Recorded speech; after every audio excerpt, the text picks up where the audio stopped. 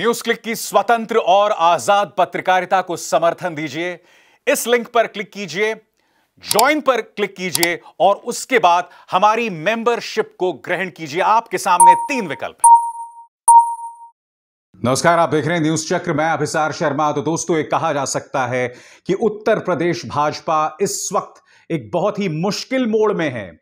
और यह कहा जा सकता है कि इन दो चेहरों उत्तर प्रदेश के मुख्यमंत्री योगी आदित्यनाथ और प्रधानमंत्री नरेंद्र मोदी के बीच में जो मतभेद हैं, उनके चलते इसका सीधा असर 2022 के उत्तर प्रदेश चुनावों पर पड़ सकता है।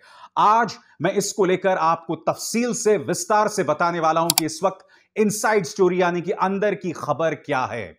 मगर उससे पहले आपको दो घटनाक्रमों पर निगाह डालना पड़ेगा, दो घटनाओं पर निगाह डालना पड़ेगा।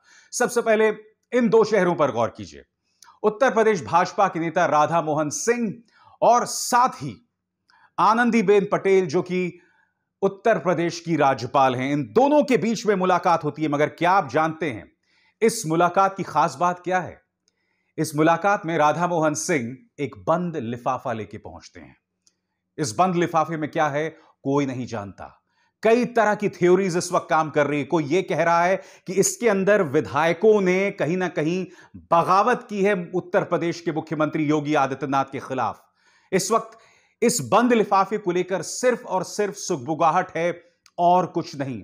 इस मुलाकात के क्या मायने अभी कुछ देर बाद मैं आपको बताने वाला हूँ। और दूसरा घटनाक्रम, इस बात को लेकर चर्चा बहुत बुलंद थी कि योगी आदित्यनाथ मंत्रिमंडल विस्तार कर सकते हैं। और मंत्रिमंडल विस्तार करने का दबाव कहीं और से नहीं, बल्कि केंद्रीय आला कमान, यानी कि प्रधानमंत्री नरेंद्र मोदी, अमित शाह और जेपी नड्डा की तरफ़ से आ रहा था। मगर अचानक शाम को तमाम न्यूज़ चैनल्स में खबर पहुँच जाती है कि मंत्रिमंडल का विस्तार करने का सवाल ही नहीं पैदा होता। इसका अर्थ क्या हुआ दोस्तों? प्रधानमंत्री नरेंद्र मोदी योगी आदित्यनाथ से कह रहे होते हैं कि मंत्रिमंडल का विस्तार करो, मगर योगी आदित्यनाथ कह देते हैं, नहीं, ऐसा कुछ नहीं होगा। और उन्होंने मंत्रिमंडल का विस्तार नहीं किया, इसका अर्थ साफ़ है कि योगी आदित्यनाथ इस वक्त केंद्रीय आला कमान से सहमत नहीं है, नंबर एक। नंबर दो, योगी आदित्यनाथ और केंद्रीय आला कमान के बीच में एक कोल्ड वॉर चल रहा है, एक शीत युद्ध चल रहा है। और उन्होंने मंत्रिमंडल विस्तार क्यों नहीं किया, उसके लिए आपको इन दो चेहरों पर गौर करना पड़ेगा। ए के शर्मा और दूसरा चेहरा यहाँ पर है केशव प्रसाद मौर्य। कौन है ए के शर्मा दोस्तों? आज से चार महीने पहले इस शख्स को इसी गाजे बाजे के साथ, जो कि आप इस तस्वीर में देख रहे हैं, लाया जाता है लखनऊ। ए के शर्मा एक रिटायर्ड आईएएस ऑफिसर हैं। प्रधानमंत्री नरेंद्र मोदी के बेहद करीबी। क्योंकि प्रधानमंत्री नरेंद्र मोदी चाहते हैं कि ए के शर्मा जो हैं वो उत्तर प्रदेश जाएँ और वो कहीं ना कहीं नज़र रखें मुख्यमंत्री योगी आदित्यनाथ पर। यही नहीं, मुख्यमंत्री योगी आदित्यनाथ से यह कहा जाता है कि ए के शर्मा को या तो आप डेप्यूटी सीएम बनाइए या फिर अपनी कैबिनेट में जगह दीजिए, मगर योगी आदित्यनाथ सीधे तौर पर मना कर देते हैं। मैं आपको बतलाने वाला हूँ दोस्तों, इस पर बीबीसी की खबर क्या कहती है जो इस वक्त आपके स्क्रीन पर है। इस काल्पनिक बदलाव की वजह सीधे तौर पर यह बताई गई कि इसका मकसद मुख्यमंत्री योगी आदित्यनाथ के प्रभाव को कम करना या उनकी कथित मनमानी पूर्ण कार्यशैली पर रोक लगाना है। जी हाँ, इसलिए ए के शर्मा को लाया गया था। और चार महीने का जो मैंने ज़िक्र किया, आपको एक और चीज़ पर गौर करना पड़ेगा। क्या आप जानते हैं कि पिछले चार महीनों से मुख्यमंत्री योगी आदित्यनाथ और प्रधानमंत्री नरेंद्र मोदी के बीच में बैठक तक नहीं हुई, मुलाकात तक नहीं हुई आपके स्क्रीन पर। यह है वो अंतिम मुलाकात जो कि चार महीने पहले इन दोनों के बीच में हुई थी। और इत्तेफाक देखिए, चार महीने पहले ही ए के शर्मा को लखनऊ भेज भेज दिया जाता है योगी आदित्यनाथ के सिर पर बिठाकर। मगर योगी आदित्यनाथ भी मंझे हुए राजनेता हैं। वो क्या कहते हैं? आपके स्क्रीन पर। चार महीने बीत जाने के बावजूद अरविंद शर्मा को ना मंत्रिपरिषद में जगह दी गई और ना ही अन्य ज़िम्मेदारी दी गई। अब यहाँ पर आपको दोनों पक्षों को समझना पड़ेगा। एक तरफ़ योगी आदित्यनाथ और दूसरी तरफ़ केंद्रीय आला कमान। क्या कहना था योगी के पक्ष का बीबीसी की इस खबर के मुताबिक? मुख्यमंत्री ने साफ़ तौर पर कह दिया कि अरविंद शर्मा को कोई महत्वपूर्ण विभाग तो छोड़िए, कैबिनेट मंत्री भी बनाना मुश्किल है। राज्य मंत्री से ज़्यादा वो उन्हें कुछ भी देने को तैयार नहीं हैं। मुख्यमंत्री योगी आदित्यनाथ के इस कदम को सीधे तौर पर प्रधानमंत्री नरेंद्र मोदी की अवहेलना और उन्हें चुनौती देने के तौर पर देखा जा रहा है। जी हाँ, सीधी चुनौती प्रधानमंत्री नरेंद्र मोदी को। और यही वजह है दोस्तों, पिछले चार महीनों से प्रधानमंत्री नरेंद्र मोदी और योगी आदित्यनाथ के बीच में मुलाकात नहीं हुई। यही नहीं 24 मई को भारतीय जनता पार्टी की एक बैठक होती है। इस बैठक में ये चेहरे भाग लेते हैं जो आपके स्क्रीन पर हैं। प्रधानमंत्री नरेंद्र मोदी गृह मंत्री अमित शाह, बीजेपी अध्यक्ष जेपी नड्डा और आरएसएस के नेता दत्तात्रेय होसबोले यह बैठक उत्तर प्रदेश चुनावों को लेकर थी, मगर क्या आप जानते हैं कि इस बैठक में योगी आदित्यनाथ को नहीं बुलाया जाता है, जिसका मतलब ऑल इज़ नॉट वेल अब मैं आपको बतलाना चाहता हूँ कि योगी आदित्यनाथ के इस फैसले पर, जिसमें उन्होंने ए के शर्मा को शामिल नहीं किया मंत्रिमंडल में, उस पर क्या कहना है केंद्रीय आला कमान का? पार्टी का नेतृत्व योगी आदित्यनाथ को यह अक्सर याद दिलाता है कि वो मुख्यमंत्री किसकी वजह से बने हैं और मौका पाने पर योगी आदित्यनाथ भी यही जताने में कोई कसर नहीं रखते कि नरेंद्र मोदी के बाद बीजेपी में प्रधानमंत्री के विकल्प वही हैं। तो देखा आपने, यहाँ पर साफ़ तौर पर रस्सा कशील चल रही है योगी आदित्यनाथ और प्रधानमंत्री नरेंद्र मोदी के बीच। तो ए के शर्मा को मंत्रिमंडल में शामिल नहीं किया गया। अब इस दूसरे चेहरे पर गौर कीजिए, केशव प्रसाद मौर्य। केशव प्रसाद मौर्य जो हैं, वो ओबीसी समुदाय से आते हैं और पिछले काफ़ी अरसे से उनकी अवहेलना हो रही है। जी हाँ, उनको टारगेट किया जा रहा है। उन्हें ना मंत्रिमंडल में अच्छा स्थान दिया गया है। इसके अलावा उनके मंत्रिमंडल की जाँच बिठा दी जाती है, यानी कि उन्हें टारगेट करने का कोई भी मौका नहीं छोड़ा जा रहा है। तो ए के शर्मा हाशिए पर और केशव प्रसाद हाशिए पर। और इस बात को लेकर केंद्रीय आलाकमान योगी आदित्यनाथ से बहुत नाराज़ है। उधर कार्यक्रम की शुरुआत में मैंने आपको बताया कि राधा मोहन सिंह पहुँच जाते हैं आनंदी बेन पटेल से मुलाकात करने। इस मुलाकात के क्या मायने हैं, मैं आपको ले चलना चाहता हूँ भारत समाचार नाम के न्यूज़ चैनल के विश्लेषण की तरफ़। क्या कहते हैं उनके पत्रकार आपके स्क्रीन पर? अब राधा मोहन सिंह द्वारा आनंदीबेन पटेल को सौंपे गए लिफाफे में आखिर क्या है? क्या हो सकता है? मंत्रिपरिषद का विस्तार और शक्ति संतुलन या फिर इससे भी बड़ा फैसला? इसके पहले आपको याद हो, बस्ती दौरे पर गए मुख्यमंत्री को अचानक राजभवन से फ़ोन जाना और उसके बाद लखनऊ वापस आके घंटे भर के बंद कमरे में वार्ता हुई थी। यह अब दूसरी बार होने जा रहा है कि राजभवन में किसी ने दस्तक दी है, यानी कि आने वाले वक्त में राजभवन बेहद महत्वपूर्ण भूमिका का निर्वहन करने वाला है, ऐसा लग रहा है। तो आनंदीबेन पटेल का किरदार बहुत अहम होने वाला है। और मुझे आपको ये बताने की ज़रूरत नहीं कि आनंदीबेन पटेल कहाँ से आती हैं? आनंदीबेन पटेल आती हैं गुजरात से। जी हाँ, गुजरात में वो प्रधानमंत्री नरेंद्र मोदी की खासम खास मानी जाती हैं। इसलिए उनकी भूमिका बहुत अहम हो जाती है। इस बीच उत्तर प्रदेश भाजपा के अंदर सिर्फ़ टव्वल और जूतम पैजार लगातार जारी है। मुझे आपको बताने की ज़रूरत नहीं है कि 2019 में करीब डेढ़ सौ बीजेपी के एमएलए ने विधानसभा के अंदर धरना दिया था। क्या किसी न्यूज़ चैनल ने इस खबर को कवर किया? आज तक नहीं किया। हाल ही में जो कोरोना का जो दूसरी लहर आई, कम से कम पाँच से छह विधायक जो हैं बीजेपी को मारे गए। इनमें से कई भाजपा के विधायक इतने बेबस थे कि उन्हें ना अस्पताल में जगह मिली, ना उन्हें ऑक्सीजन में जो है, ना उन्हें ऑक्सीजन मिली, ना उन्हें दवाई ही ढंग से मिली। और इसकी वो शिकायत सीधे तौर पर योगी आदित्यनाथ के खिलाफ कर रहे हैं।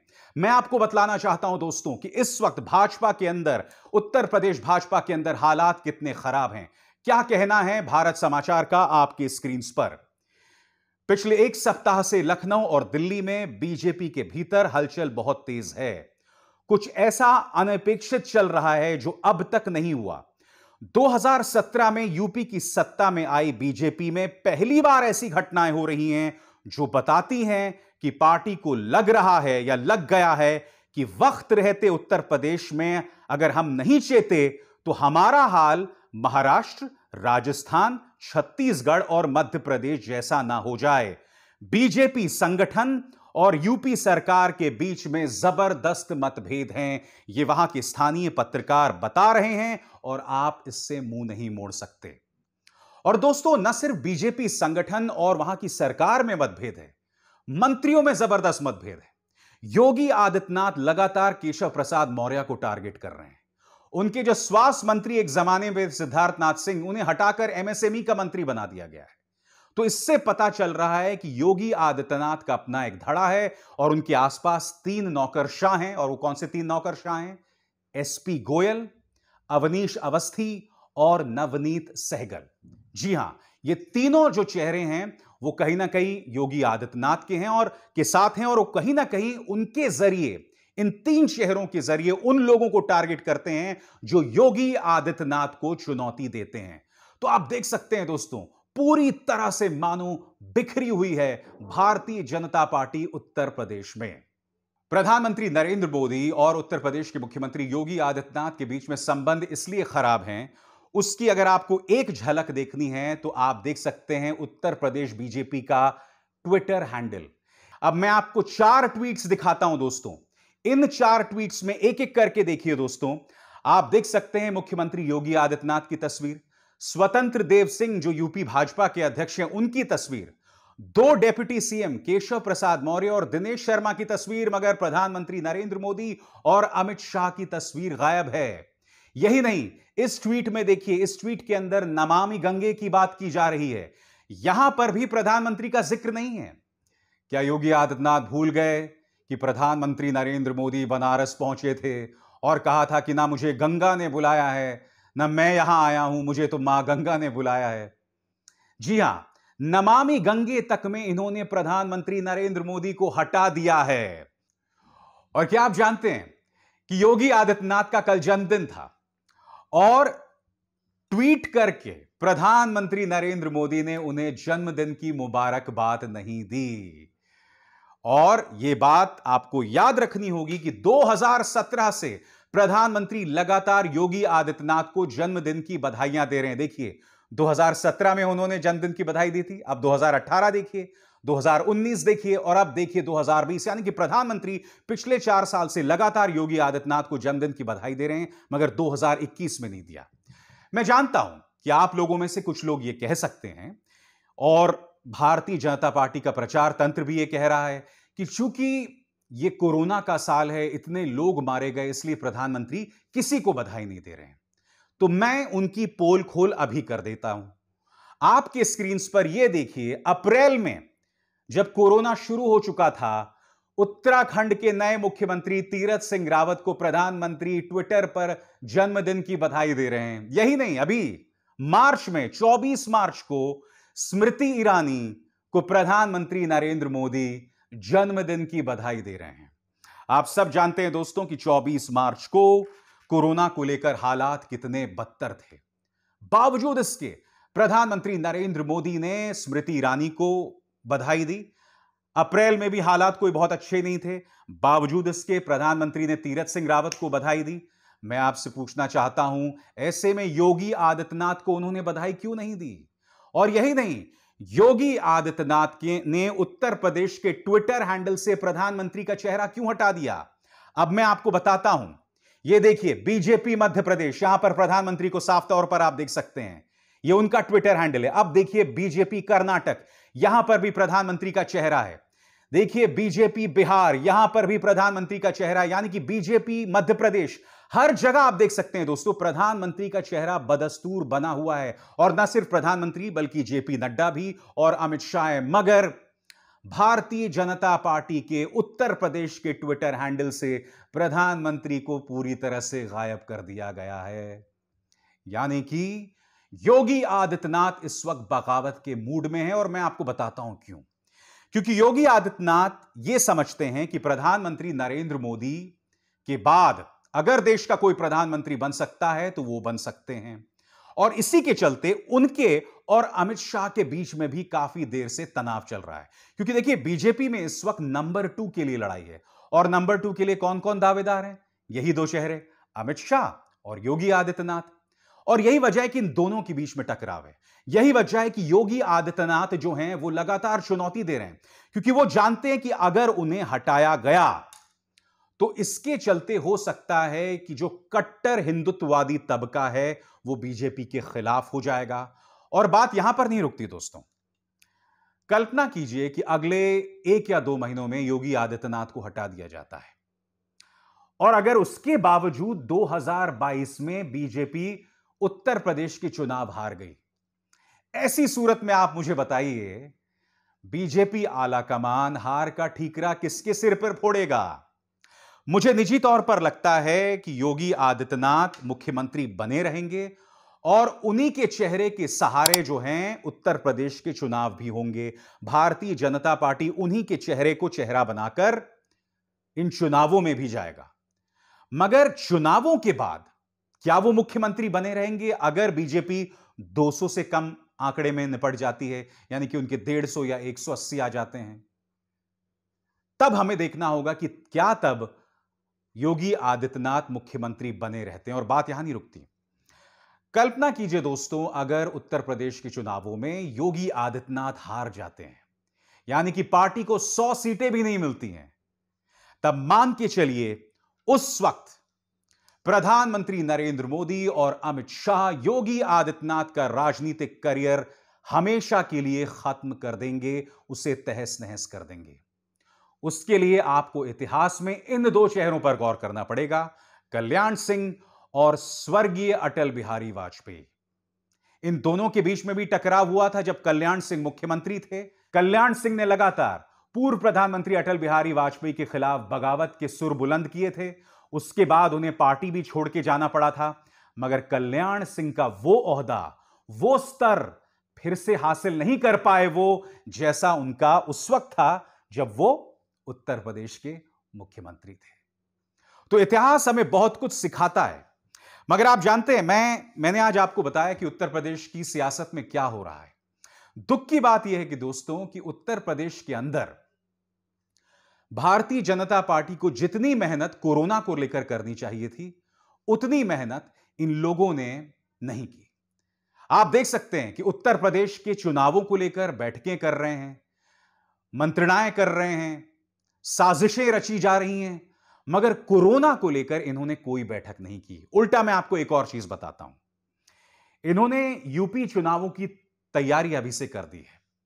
बाराबंकी में बगैर किसी कारण के आप जानते हैं क्या किया गया था? मस्जिद को तोड़ दिया गया था। जबकि अदालत का एक आदेश था कि आप मत तोड़िए, फिर भी इन्होंने मस्जिद को तोड़ दिया था। क्यों? ताकि समाज में तनाव फैले। क्योंकि उस घटनाक्रम के बाद मुसलमान सड़क पर आ गया था।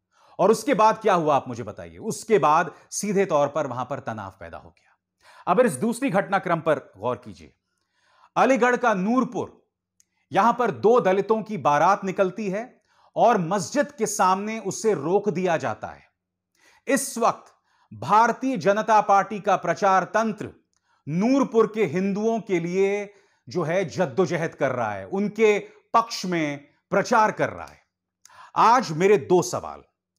क्या आप जानते हैं कि असदुद्दीन ओवैसी का यह नेता नाजिम अली, इसने बयान दिया था? यह दरअसल पूरी खुराफात की जड़ है। इसने यह बयान दिया था कि मस्जिद के सामने हम दलितों की बारात नहीं निकलने देंगे, यहाँ पर सिर्फ़ नमाज़ होगी।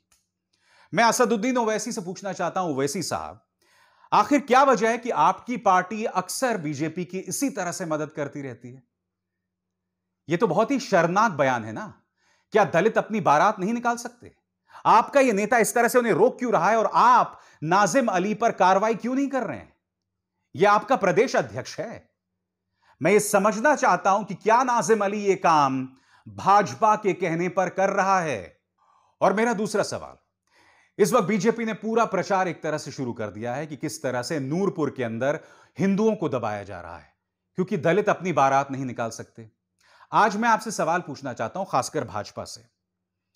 हाल के दिनों में, पिछले चार सालों में, उत्तर प्रदेश में ऐसी ढेरों मिसालें आई हैं, जब ठाकुरों की दबंगई या मेरे जैसे ब्राह्मणों की दबंगई के चलते, दलित अपनी बारात नहीं निकाल पा रहे थे। उल्टा एक घटना यह भी हुई थी कि एक दलित घोड़ी पर चढ़ा था, उसे गोली मार दी गई थी।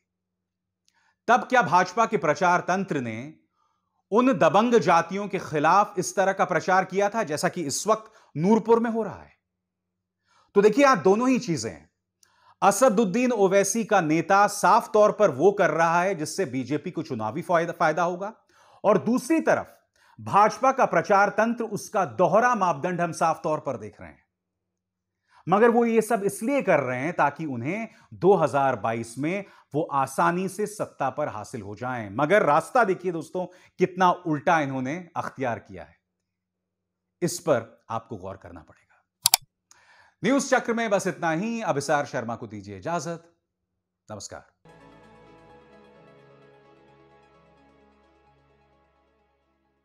you